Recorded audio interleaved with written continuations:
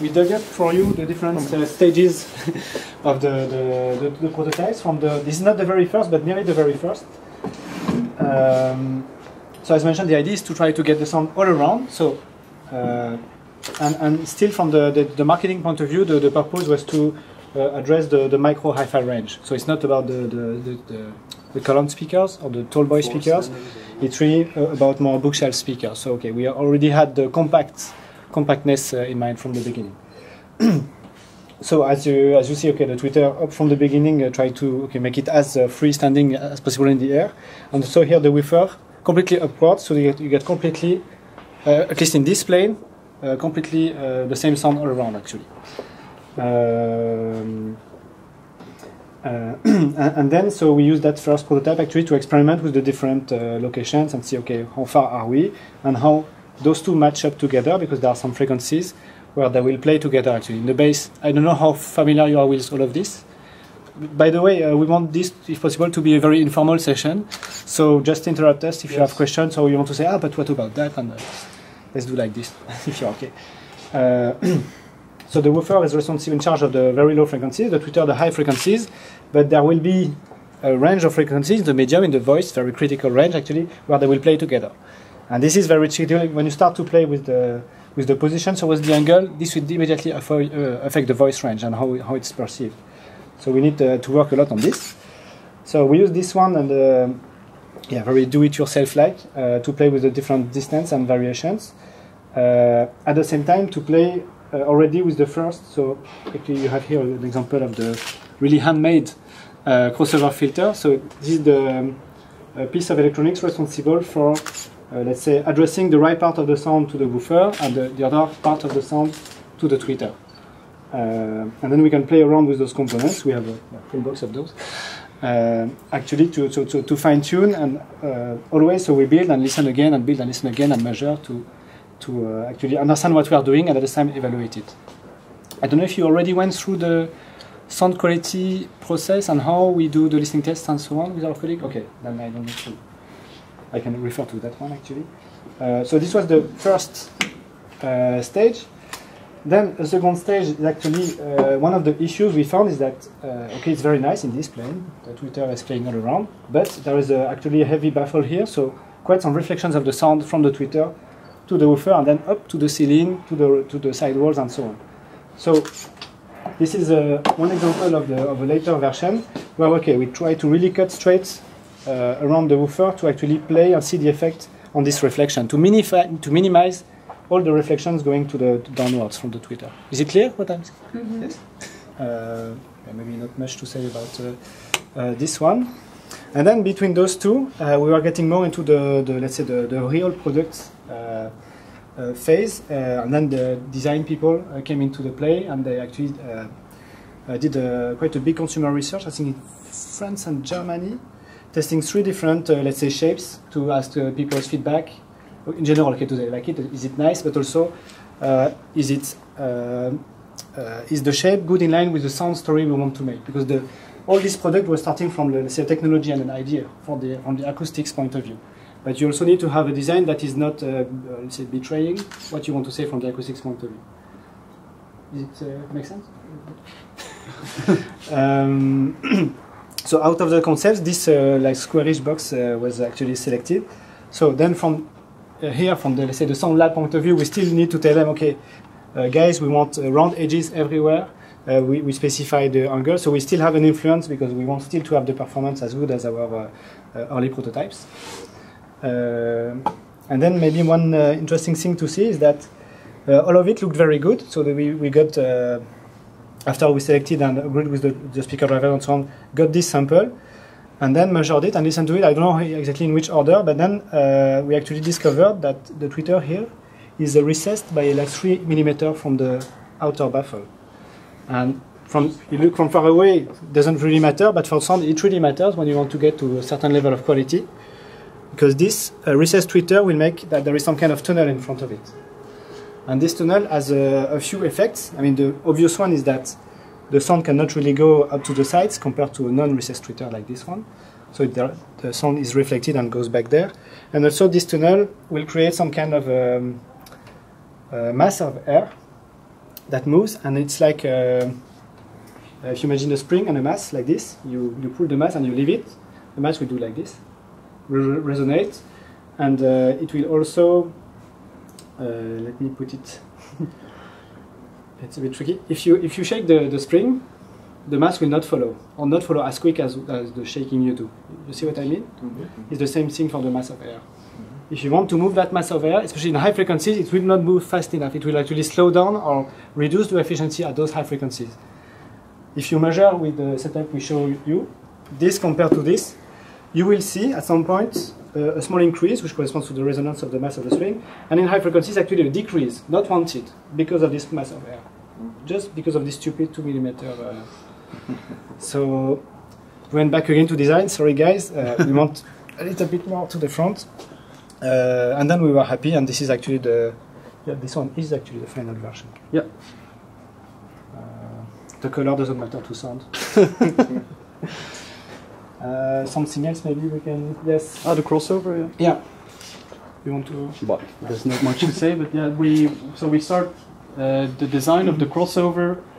Uh, some people here might know, but there are very traditional crossover designs, uh, Butterworth, uh, Chef, those kind of uh, very mathematical designs that you can start with. You implement them, you measure them in the anechoic room, you listen to them, but once you start listening to them, you want to fine tune certain parameters and you actually deviate from the theoretical best solution because in theory and practice not always uh, align. And especially one thing is very noticeable that at first in the anechoic room when you do measurements on a full system, so woofer, crossover, tweeter, you go for a flat frequency response but then when you start listening to it, sometimes this will actually sound a bit harsh or a bit too bright. And by, by uh, changing some of the components of the crossover, you can actually change the balance and, and uh, send less or more uh, high frequencies to the tweeter and, and, things like that. And so maybe you can mention the time aspect. Sure. Yeah. Yes. Uh, with this particular loudspeaker, one thing is uh, quite difficult to get right, is the the time alignment with uh, a normal uh, loudspeaker baffle, like like the one there, for instance. The this is not the most normal. No, but it's more normal. Uh, you can imagine that sound starts from this plane and it will arrive at the listener's ear at the same moment in time. Uh, with this, it's more difficult to align it correctly, and also the, the, the crossover point there comes comes into play. But what's interesting to see is that we start with very large, very expensive uh, components, and then when it actually comes down to production, the size of the component is very much uh, shrunk down. And uh, it's up to us as well to check then that we still have the correct values, uh, the tolerances are okay, and things like that. Like a small micro system. So it's literally two small speakers in one volume in sorry, not one volume, one one shape. Mm-hmm. Uh, we stayed with very high quality drivers, very high quality electronics, and that was this this this part of the process. In the prototype, we we tested uh, the high quality tweeter, the high quality woofer, and obviously the the, the acoustic volume behind the woofer is chosen very specifically to get the, the correct bass response.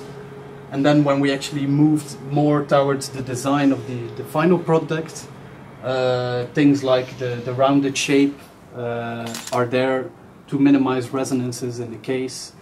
Uh, and what was clear from the prototype, the, the sharp edges caused issues. Uh, as we mentioned before with the baffle, any, any sharp edge actually becomes a source of its own and you want to avoid that as much as possible.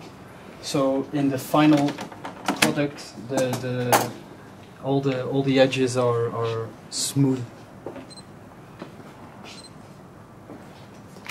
So in, in, in terms of, of concept it's very much a, a micro system in, in, in one box. But still having two completely separate loudspeakers so that the, the, the movement of one speaker does not influence the movement of another. Because if they would be sharing a volume, then you can imagine that if one moves it in, it, it creates pressure into the volume, which actually moves the other one out. So if there is discrepancies, no, no two drivers are exactly the same. So they will never move at exactly the same time, and then having one volume becomes an issue. So this is a this is a better approach for getting a, a, a correct bass response. Loic, I don't know if you can. Yeah, maybe one thing to mention is that the, within the shape, we also always try to have the, especially the high frequencies, as far apart as possible to preserve the stereo image. Mhm. It's quite key. So if you compare this to some other products, you, you might find that the stereo image is still let's acceptable in Yeah. general and very good for a compact product. Yeah. Um, Yeah, that was one of the questions, obviously, uh, in the previous workshop as well. What about stereo image? Because yes, it's a small form factor. Th- There is no denying that uh, uh, two loudspeakers placed uh, two meters apart will give you a wider uh, stereo image. There's no, uh, there's no denying that. But at least here, the, the it's as wide as it can be within such a small form factor. And why are uh, the speakers turned inside? Why are they directed inside? Actually, this is more for the, the, the design. Uh, since for the woofer, it's more for the design purpose. Actually, there was a big uh, big discussions on this Mm. one uh, because for the tweeter, we absolutely uh, absolutely don't want that. Mm. Because the tweeter, um, let's see, for the high frequencies, and that's also why. Uh, maybe I finish first with the question. uh, yeah, for the high frequencies, uh, which get more directional, you definitely don't want to point inwards.